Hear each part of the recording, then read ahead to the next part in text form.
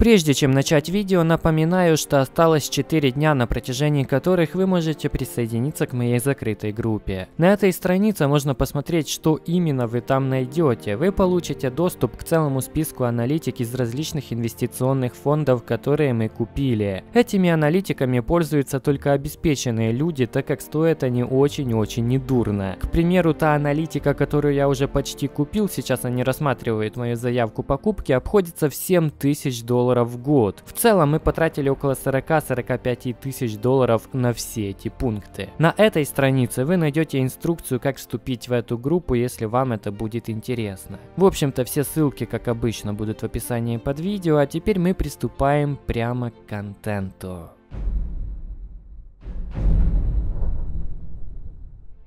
Всем привет, ребята, меня зовут Богатейший Де. Добро пожаловать на мой канал, канал, на который вы подписываетесь ради ежедневных видео о криптовалюте. Шерстил YouTube и тут в рекомендациях вижу странно утопическое название 10 тысяч долларов за Ripple XRP, конец игры. Все бы ничего, но ролик был опубликован 17 июня 2019 года и с тех пор набрал уже более 100 тысяч просмотров, а также обзавелся неплохой активностью. А значит Значит, тема многих интересует. Я лично не верю, что Ripple может стоить 10 тысяч долларов. Это ж какой должна быть его капитализация, чтобы токен достигал такой цены. Однако, видео меня заинтересовало, потому что показывает совершенно другую аргументацию, которой я еще не видел ни у кого. Все завязано вокруг ликвидности, это небольшой спойлер. Что касается актуальной ситуации, Ripple уже давно ведет себя как какой-то стейблкоин. Он оседлал сильнейший уровень поддержки в 30 центов, который когда-то был сопротивлением. И на самом деле то, что его цена отпрыгивает от этой поддержки на протяжении такого длительного периода времени, меня только пугает. Достаточно посмотреть на аналогичную ситуацию по биткоину, когда его цена тоже нашла железный уровень поддержки на 6000. Но длительное тестирование этого уровня на прочность закончилось падением почти в два раза. Возможно, XRP ждет что-то похожее.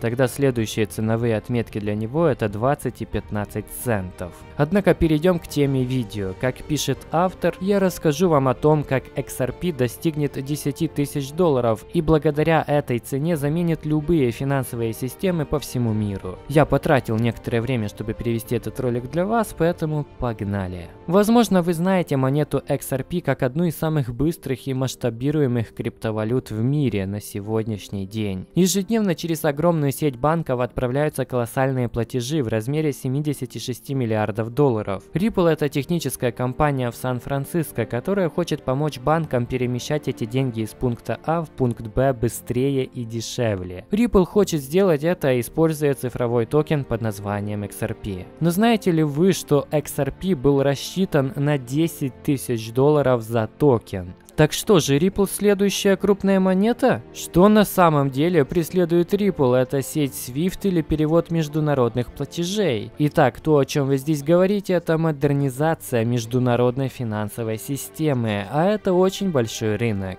Возникает очевидный вопрос, который вы могли бы сейчас задать, а заключается он в том, может ли эта монета вырасти так высоко. Что ж, давайте узнаем. Когда создавали XRP, он был разработан именно так, чтобы заменить как институциональные, так и розничные финансовые системы на всех рынках по всему миру. Откуда мы это знаем? Если мы более подробно рассмотрим, как устроен XRP, то это становится очевидным. Известная цитата соучредителя Ripple Labs Артура Бритта дает нам подсказку. В 2017 году он написал, XRP должен быть масштабируемым, чтобы обслуживать 7,5 миллиардов человек. Эта цитата дает нам представление о масштабах амбиций Ripple, которые будут использоваться населением всего мира. Сначала давайте рассмотрим некоторые из основных функций XRP, которые подтверждают утверждение о том, что он был спроектирован так, чтобы стоить 10 тысяч долларов за один токен. XRP использует платежи по заказам, которые быстрее, дешевле и надежнее, чем существующие системы, такие как SWIFT. Генеральный директор Ripple Брэд Гарлингхаус присоединяется к нам прямо сейчас.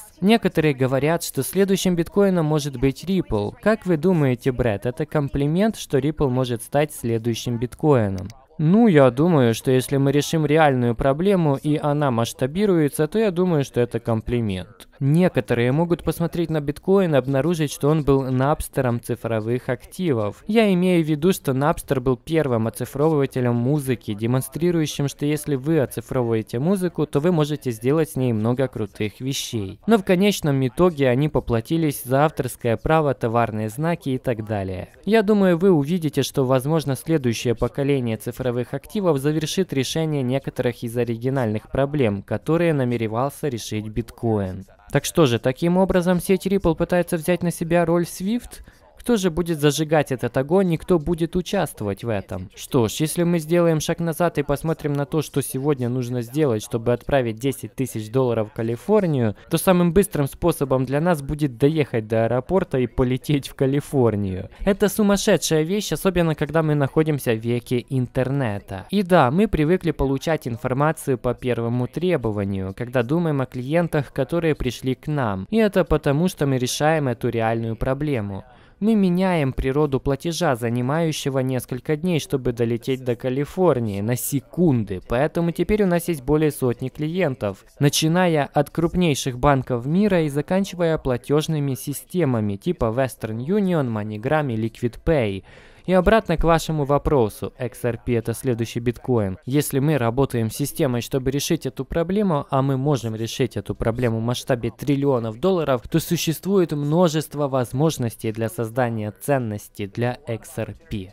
По сути, XRP пытается обеспечить надежный источник по требованию ликвидности для трансграничных платежей. Теперь давайте поймем, что такое ликвидность. Ликвидность описывает степень, в которой актив или ценную бумагу можно быстро купить или продать на рынке, при этом не влияя на цену активов. И то, что мы видим на сегодняшнем рынке, это волатильность цен относительно небольшого количества инвесторов, которые покупают и продают XRP на биржах. Ликвидность для XRP или любого другого крипто актива появляется по мере роста цены, поэтому более высокие цены равняются более высокой ликвидности. Тот факт, что Ripple Labs заблокировал 55% от всего предложения XRP, был задисциплинирован блокировкой непроданных частей каждого выпуска монет, возможно, поможет в конечном итоге повысить цену. Даже несмотря на то, что институциональные партнеры, вероятно, покупают XRP вне биржи, это не отображается в опубликованных биржевых ценах. Это всем понятно. В течение последних 6 месяцев цена XRP варьировалась от 25 до 60 центов, что представляет собой диапазон в 120%. Даже если это выглядит как массовое движение, это не является проблемой для институционального использования из-за быстрого трехсекундного расчета XRP. Большая часть предложения Ripple, я думаю, это криптовалюта XRP. Мы действительно признаем, что банки также не решаются конвертироваться в криптовалюту прямо сейчас из-за волатильности волатильности в криптовалютах, а также из-за того факта, что у криптовалюты нет такой большой ликвидности, как, например, у доллара. Я слышал, как люди говорят о волатильности, и я чувствую, что они распространяют дезинформацию. Риск волатильности – это просто математический расчет волатильности на протяжении времени. Если вы холдите фиатные деньги, скажем, на протяжении среднего времени транзакции SWIFT, это порядка двух дней, то есть около 180 тысяч секунд, то транзакция XRP будет равна всего 3 секундам секундам. Математически оказывается, что в транзакции XRP меньше риска волатильности, чем в транзакции фиатной валюты. Разница в том, что у вас есть маркетмейкеры, когда вы совершаете сделку SWIFT. Есть банки, которые, как и маркетмейкеры, говорят, что я зафиксирую эту транзакцию и приму риск волатильности в течение следующих двух или трех дней. С XRP вам не нужно делать этого, потому что он очень быстрый.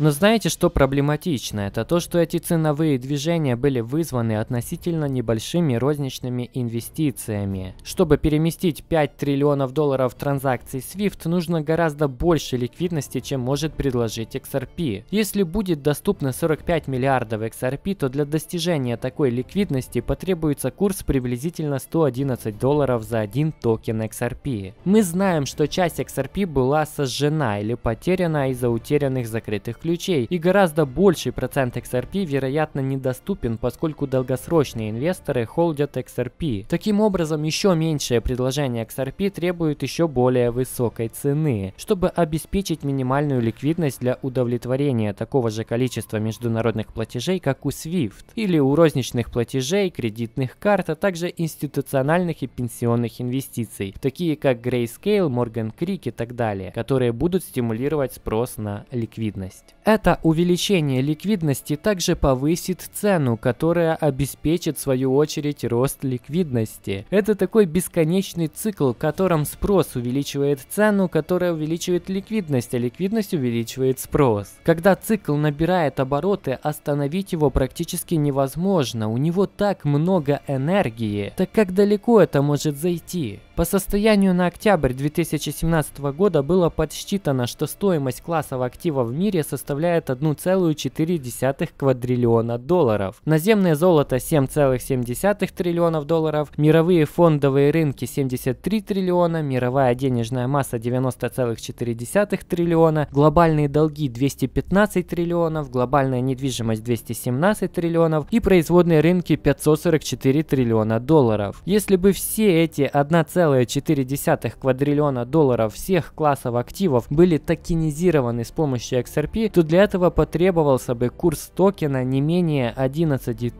400 долларов за токен. Этот пример ясно демонстрирует масштаб ликвидности, для поддержки которой и был создан токен XRP. Для обслуживания клиентов, которые хотят воспользоваться преимуществами использования цифрового актива, такого как XRP, нужна ликвидность. Они предварительно финансируют ту сумму, сумму, которая там находится. Это действительно не активные денежные средства, которые просто зависают в банках. Цифровые активы сделали возможным перевод через границу в другую валюту в реальном времени. А сколько же денег предварительно фиксируется и как долго они находятся в банках? В этих банках зависло около 27 триллионов долларов. Они называются учетными записями Ностра. И да, проблема в том, что если мы можем сократить время предварительного финансирования, то мы действительно можем ускорить глобальную торговлю. Это хорошо для всех. Это хорошо для компаний в США. Это хорошо для небанковских сообществ по всей Африке. Это действительно может существенно изменить способ разметки глобальной финансовой инфраструктуры. Но что насчет делимости? Стоимости. Максимально возможное предложение составляет 100 миллиардов XRP. Каждый XRP делится на 6 знаков после запятой, что означает, что наименьшая единица составляет одну миллионную часть от одного XRP. Вы только подумайте, зачем разработчикам XRP делать токен таким делимым при стоимости 30 центов за монету. Это абсурд. Кому вообще может потребоваться использование одной миллионной от 30 центов? Вы бы не сделали так, так, если только не планировали бы, что токен был бы намного дороже, чем он есть в настоящее время. Скажем, 10 тысяч долларов за XRP. Тогда делимость имеет смысл по двум причинам. Первое. Низкая стоимость транзакции и доступность для мелкого розничного использования. Минимальная стоимость транзакции, требуемая сетью, составляет 1 миллионную XRP. Иногда она увеличивается из-за более высоких, чем обычно, нагрузок, но даже несмотря на значение в 10 тысяч долларов, стоимость транзакции по-прежнему будет составлять очень мало, всего около 10 центов. Это по-прежнему очень дешево. Один цент, возможно, является наименьшей деноминацией. Это было бы необходимо для использования XRP в качестве средства проведения ежедневных розничных транзакций, даже на развивающихся рынках, что могло бы обеспечить доступ к банковским и цифровым финансовым транзакциям даже для тех, в чьих странах есть проблемы с доступом к банкам. Вопрос о недоступности банков настолько увлекателен и странно, что первопроходцы на самом деле не думают об этом. Но объясните, как это поможет. Банки хотят обслуживать клиентов до тех пор, пока они могут обслуживать их с прибылью. Если они не могут обслуживать клиентов, получая прибыль, то они не собираются этого делать. Поэтому, когда вы говорите о рабочей силе мигрантов, например, в Африке, которые явно не зарабатывают много денег, то стоимость услуг банковской системы для них фактически превышала бы их доход. Если бы мы могли облегчить работающим мигрантам владение активами, кредитами, чтобы они могли легко перемещать их без всяких затрат, они бы стали частью банковской системы и мирового финансового сообщества. Я думаю, вы знаете о долгосрочном видении Ripple, как мы можем обмениваться ценностью в интернете, как сегодня информацией. Это действительно объединяет эти сообщества в систему и позволяет им участвовать и получать выгоду от участия в этой финансовой системе. В 2017 году Всемирный банк Findex обнаружил, что около 1,7 миллиарда взрослых людей остаются без банковского счета или без счета в финансовом учреждении. Приблизительно половина из этих людей без банковского обслуживания проживает только в семи странах. Это Бангладеш, Китай, Индия, Индонезия, Мексика, Нигерия и Пакистан. В отчете также отмечается, что поскольку две трети этого населения имеют доступ к мобильному мобильным телефоном, то они могут использовать мобильное банковское обслуживание до тех пор, пока мобильный доступ можно сочетать с хорошо развитыми платежными системами. История заключается в том, что у нас теперь есть платформа, на которой мы искали эту информацию по поводу ключевых кредитных платформ. И мы обнаружили, что многие транзакции, более 40% транзакций происходят между 3 и 5 часами утра. Нас это заинтересовало и мы начали исследовать это. Спустя время мы обнаружили, что около 50% людей людей были женщины. И в ходе дальнейшего расследования мы поняли, что существуют трейдеры, которые работают на различных рынках. Они покупают на рынках, а потом продают на углах улиц и в киосках подобные вещи. Поэтому они просыпаются в 3 часа утра и заходят на кредитную платформу сотового телефона. Они все еще находятся в своих домах, потому что все это делается по мобильному телефону, который они одалживают или которым они владеют. Они получат деньги, после чего они звонят доверенному оптовику и просят свой товар, а сами платят через мобильный телефон. Затем звонят человеку, который доставит вещь в киоск. Теперь она идет, будет детей, кормит их, отправляет в школу, а в 6.30 идет в киоск со всеми товарами, готовыми к продаже, и начинает свой рабочий день. Даже я, будучи губернатором, не встаю с постели в 6.30 утра. Это люди, у которых нет банковских счетов и доступа к банкам, но они все равно пытаются вести бизнес и делают это с помощью своих мобильных телефонов. В большинстве развивающихся стран вы найдете гораздо больше людей, использующих мобильные устройства. Если вы можете сделать финансовый рынок доступным для них, даже если у них нет банковского счета, вы откроете огромный новый рынок. Если вы сделаете транзакции достаточно доступными, то они точно будут использовать этот новый рынок. XRP позволит даже тем людям, которым не предоставляются банковские услуги, иметь доступ к цифровым финансовым инструментам, которые являются быстрыми, стабильными и конструктивными. Решения, которые были заложены в XRP, заставляют нас поверить в то, что этот токен задумывался изначально для курса 10 тысяч долларов за токен. Только в этом случае XRP станет возможным для обслуживания действительно глобального рынка.